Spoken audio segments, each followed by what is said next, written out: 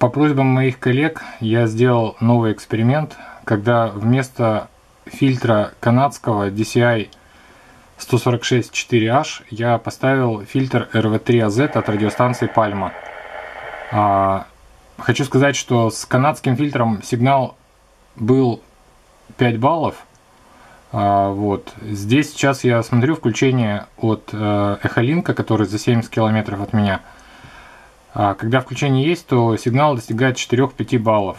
Вот. То есть, в принципе, потери относительно не такие большие в сравнении с канадским фильтром. Тут надо измерительными инструментами пользоваться, чтобы дать точную оценку. Но на удивление, в общем, что меня порадовало, это то, что потери, а, в принципе, соизмеримо оказались с потерями, которыми, которые вносит канадский фильтр. Вот. Сейчас включения станции нет, но мы видим уровень шумов э, на уровне 1 балла. А вот. Были редкие включения станций э, Сахалинка. Здесь используется трансвертор э, самодельной конструкции совместно с трансивером ESO FT857. Э, как ПЧ он используется 857, поэтому мы видим на экране не 145-300, а 29-300.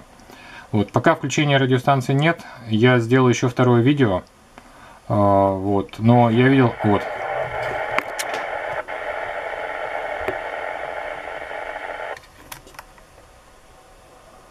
То есть вот они, небольшие включения, то есть 3-4 балла, если быть объективным.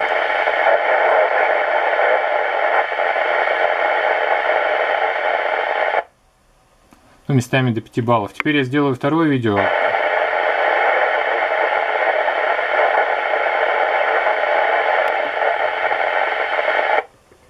Понятно, что проход э, меняется, но я сейчас сделаю следом видео, где снова поставлю по входу каз, э, канадский фильтр. Спасибо за видео, спасибо за интерес к моему видео.